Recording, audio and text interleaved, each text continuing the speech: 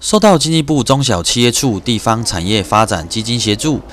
由台东县政府建设处主办的关山黑白配在地生活产业整合计划推动下，让关山国小六年级八十六位应届毕业生完成拔萝卜、腌制萝卜，成为新菜脯。三月十三号上午特别举办老菜脯时空胶囊封罐活动，县府建设处工商科长赖宣凯、关山镇公所秘书吴昌敦等贵宾都到场参加，一起封罐。呃，借此这个活动，也希望各位同学以后呃毕业之后再出外工作求学的时候啊，也会想到我们关山在地的特色产业，就是我们呃小时候这个老菜脯的呃特色那个味道，让大家都可以回想。什么叫黑白配？黑的萝卜，但是人家很奇怪，明明萝卜是白的，为什么要把把它搞成黑的？就是因为要让它能够产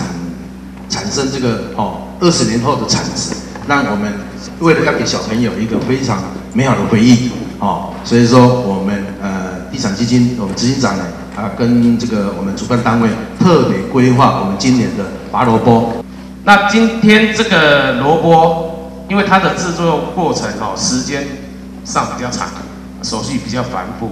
所以，因为那天的时间上的不允许，所以后面的工作由我们来帮大家完成。那希望最主要的目的是希望说，大家以后来开这个萝卜的时候，能够想到我们地方产业对地方的重要性。学童可以借由这次活动，体会农业时的勤俭朴实，而老菜报大家相约二十年后重新开启，相信可以让童年的回忆持续蔓延。东南新闻范耀林关山镇报道。